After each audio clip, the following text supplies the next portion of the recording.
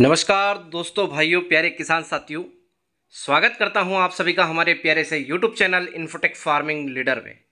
किसान साथियों, आज दिनांक हो चुकी है सात अगस्त 2023 दिन हो चुका है मंडे, सोमवार का। समय हुआ अभी साढ़े नौ। वीडियो आपको देखने को मिलेगा ये दस बजे तक, क्योंकि वीडियो थोड़ा सा लंबा है, बहुत सारी जानकारी देनी है आपको।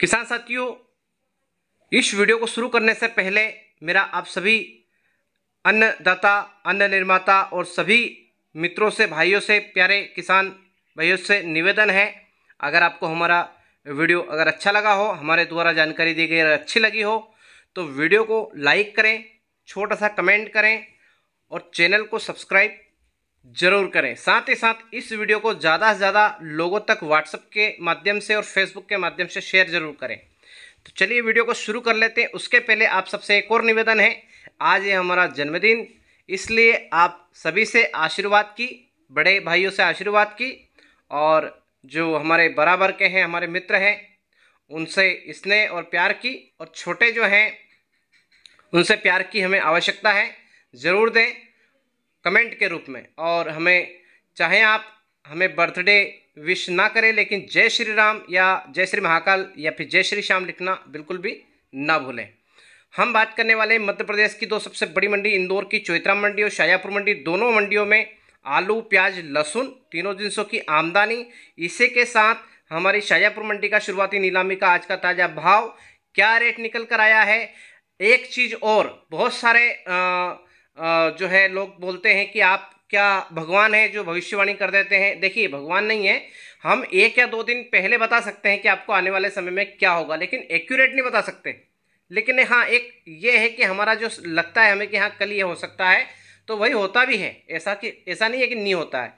हमने सोमवार आपको लिखा था, शनिवार के जो वीडियो बनाया था, उसमें हमने स्पष्ट लिख दिया था थंबनेल में कि सोमवार से अच्छे दिन की शुरुआत। जहाँ हमारी शाजापुर मंडी में शनिवार के दिन सोलह सौ रुपये से ऊपर एक भी लोट नहीं था मेरे किसान साथियों। वहीं आज हमारी शाजापुर मंडी में साढ़े अट्ठारह सौ रुपये में करीब करीब दस लोट बिके हैं पूरी मंडी में। कितना? दस लोट साढ़े अट्ठारह सौ रुपये प्रति कुंटल के हिसाब से बिके हैं और बारह सौ रुपये से लगा के सत्रह सौ रुपये के बीच में तो ये मान के चलें कि पाँच हज़ार कट्टे के ऊपर बिके हैं, पाँच से सात हज़ार कट्टे के ऊपर बिके हैं किसान साथियों, इस रेट में तो ठीक है? तो चलिए किसान साथियों, वीडियो को शुरू कर लेते हैं। सबसे पहले हम बात करेंगे आवक की, इंदौर की चौत्रा मंडी की। अगर आवक की बात करें किसान साथियों तो पिचहत्तर से अस्सी हज़ार कट, प्लस कट्टे की आज आमदनी देखने को मिली है। आलू की आमदनी की अगर बात करें तो पाँच हज़ार कट्टे और लहसुन की आमदनी है छः से साढ़े छः हज़ार कट्टे। बात कर लेते हैं शाजापुर मंडी की। शाजापुर मंडी में प्याज की आमदनी किसान साथियों पच्चीस हज़ार कट्टे के लगभग में मान के चलें, आप इससे ऊपर ही हो सकते हैं। बात करें किसान साथियों लहसुन की तो ढाई से तीन हज़ार कट्टे। बात करें किसान साथियों आज के लहसुन के भाव की तो लहसुन का जो है हल्की फुल्की एक दो फड़ पे ही जानकारी निकाली, एक दो फड़ पे गए हैं। एक दो फड़ की अगर हम जानकारी की अगर बात करें किसान साथियों तो हल्की क्वालिटी की जो लहसुन है वो एक हज़ार से लगा के पाँच हज़ार रुपये मतलब जो बारीक लहसुन है, पाँच हज़ार से आठ, नौ हज़ार रुपये और मीडियम लहसुन नौ से ग्यारह हज़ार रुपये एक्स्ट्रा सुपर लहसुन ग्यारह से बारह हज़ार रुपये और एक्सपोर्ट क्वालिटी की जो सुपर लहसुन है, बारह हज़ार से तेरह हज़ार रुपये इससे ऊपर भी बिकी हो तो उसकी जानकारी अभी तक तो प्राप्त नहीं हुई है।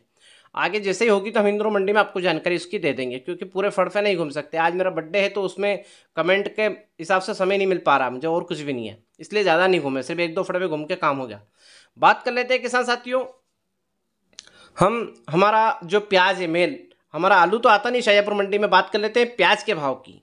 प्याज में खादू की अगर मैं बात करूँ किसान साथियों तो हमारा पचास रुपये से लगा के ढाई सौ रुपये प्रति कट्टे तक खादू जा रहा अब आती बात गोल्टी की तो गोल्टी किसान साथियों, हमारी पाँच सौ रुपये प्रति कुंटल से लगा के हज़ार रुपये में मीडियम क्वालिटी की, हज़ार रुपये प्रति कुंटल से लगा के पंद्रह सौ रुपये में एक्सपोर्ट क्वालिटी गोल्टी बिक रही है।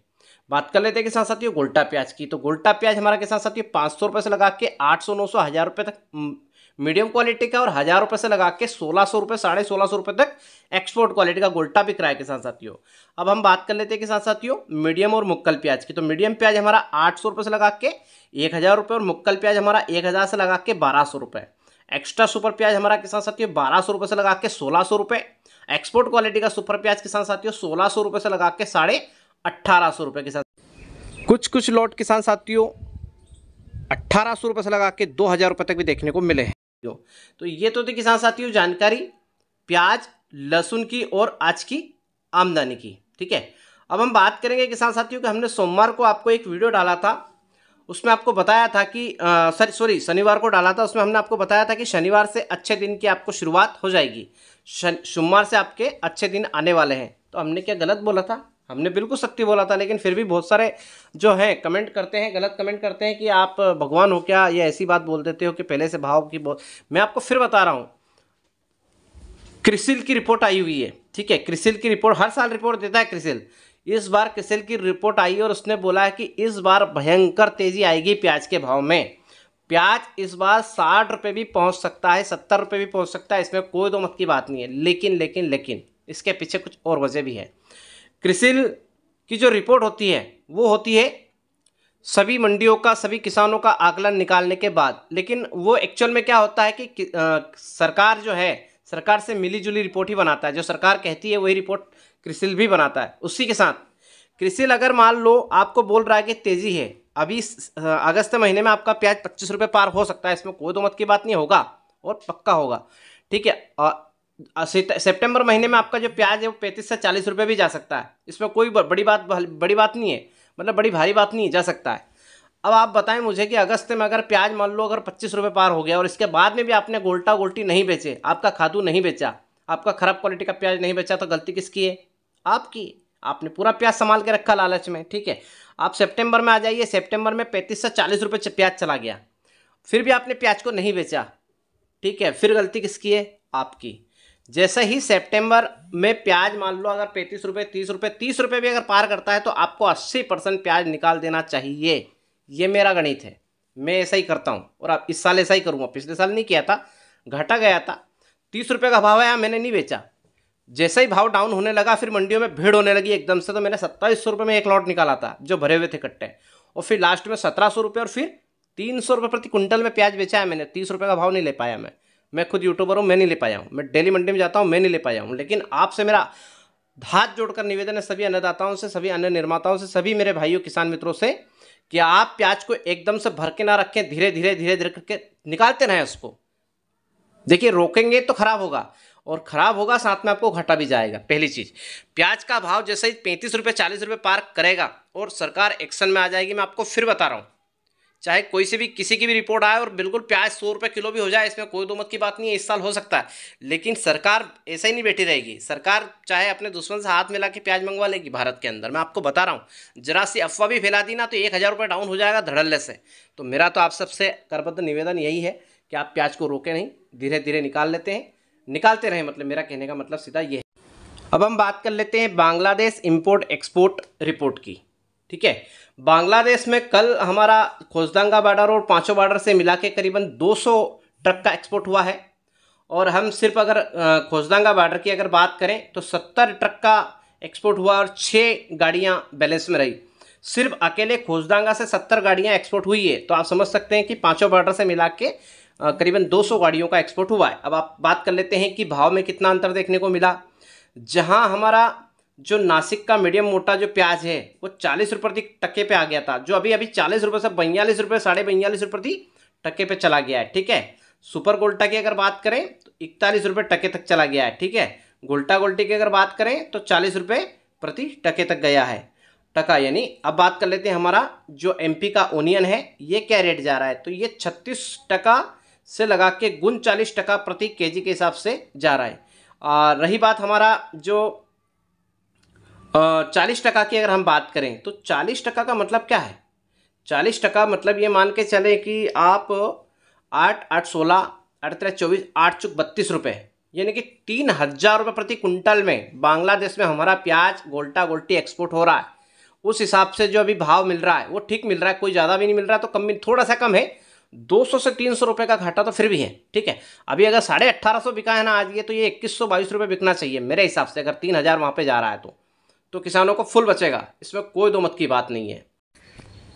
अच्छा बांग्लादेश बॉर्डर के अलावा हमारा प्याज नेपाल भी जा रहा है, लेकिन ये किसी को नहीं पता। है बहुत सारे यूट्यूबर को ये जानकारी नहीं है, और ना किसानों को है। हमारा जो प्याज है, नेपाल भी एक्सपोर्ट हो रहा है। देखिए, नेपाल एक ऐसा देश है कि हमारा आना जाना बिल्कुल एकदम फ्री ऑफ़ कॉस्ट है। सिर्फ़ आप वोटर आईडी लेके चले जाएँगे तो आपको बॉर्डर पार आप कर सकते हैं। तो वहाँ पे ज़्यादा खर्च नहीं है आने जाने में। इसलिए हमारा नेपाल में भी हमारा प्याज एक्सपोर्ट हो रहा है। अब आती है बात हमारा श्रीलंका की। श्रीलंका भी पड़ोसी देश है तो वहाँ पे भी हमारा प्याज एक्सपोर्ट हो रहा है। अब आती बात हमारे दुबई की। तो दुबई में हमारा जो बेस्ट क्वालिटी का माल होता है आप खंडवा का माल पकड़ लीजिए, उसी के साथ आपका महाराष्ट्र, सोलापुर, नासिक साइड का जो प्याज होता है, वही प्याज हमारा दुबई में एक्सपोर्ट होता है। और जितने भी साउथ अमीरात के जितने भी देश हैं, उन सभी देशों में वही प्याज एक्सपोर्ट होता है। हाई लेवल का, यानी कि 60 एम mm से ऊपर और कलर वगैरह बहुत ही शानदार। वहाँ के जो कंटेनर जो खुलते हैं ना, दुबई में जो जाते हैं और पोर्ट पे जाके जो कंटेनर खुलते हैं, उस कंटेनर में आप देखें, प्याज का साइज़ बहुत अल्टीमेट साइज़ होता है, बहुत ही शानदार साइज़ का होता है। शाहजहाँपुर ज़िले में वो प्याज देखने को नहीं मिलता है। मैं आपको पहले ही बता दूँ। इंदौर ज़िले में भी आपको प्याज देखने को नहीं मिलता है। हाँ खंडवा में आप देख सकते हैं उस टाइप के प्याज को। खंडवा में देखने को मिलेगा, लेकिन हमारा शायापुर देवास, उज्जैन में नहीं मिलेगा उस टाइप का प्याज देखने को। रही बात हमारे मलेशिया की तो मलेशिया में भी हमारा प्याज जाता है और भी बहुत सारे देशों में जाता है, लेकिन बहुत कम मात्रा में किसान साथियों तो किसान साथियों, प्याज तो सभी जगह एक्सपोर्ट हो रहा है और अच्छे रेट में हो रहा है। हमारा पश्चिम बंगाल, हमारे भारत देश का जो है एक राज्य है, पश्चिम बंगाल वहाँ पे एक सिलीगुड़ी टाइप का शहर है सिलीगुड़ी। वहाँ पे प्याज का जो है बहुत ज़्यादा खपत है। सिलीगुड़ी में पूरा का पूरा जो है गोल्टा गोल्टा और गोल्टी चलता है, बहुत ज़्यादा मात्रा में। तो वहाँ पे भी हमारा प्याज बहुत ज़्यादा मात्रा में प्याज जा रहा है। अब बात कर लेते हैं हम उत्तर प्रदेश की। तो उत्तर प्रदेश में भी बहुत ज़्यादा हमारा प्याज एमपी का जाता है। बिहार में भी बहुत ज़्यादा हमारा प्याज एमपी का जाता है। तो किसान साथियों, घबराने की ज़रूरत तो नहीं है, लेकिन एक ज़रूर चीज़ बता देता हूँ आपको। इसी नवंबर महीने में मतलब इसी आने वाले, इसी सत्र में 2023 में नवंबर में विधानसभा का चुनाव है। और आप मान के चलें कि 2024 में ही लोकसभा का चुनाव है तो उस कारण से प्याज का जो रेट जैसे ही ऊपर जाएगा तो मोदी जी थोड़ा सा पकड़ तो करेंगे। इसलिए आप थोड़ा सावधान ज़रूर रहें। मैं तो कह रहा हूँ कि प्याज का भाव पचास रुपये से ऊपर बिकेगा, लेकिन आपको अपने विवेक से काम लेना है और आपको प्याज को धीमी गति से निकालते रहना, मात्र 20 परसेंट प्याज को बचा के रख, रखना आपको सितंबर लास्ट और अक्टूबर फ़र्स्ट तक, बस इससे ज़्यादा नहीं बचाना। आपको वीडियो अगर अच्छा लगा तो वीडियो को लाइक करें कमेंट करें और चैनल में पहली बार चैनल को सब्सक्राइब ज़रूर करें। आप सभी किसान भाइयों का बहुत बहुत धन्यवाद। जय जवान, जय जय हिंद, जय भारत, वंदे मातरम। किसान साथियों कमेंट ज़रूर करें और सब्सक्राइब ज़रूर करें।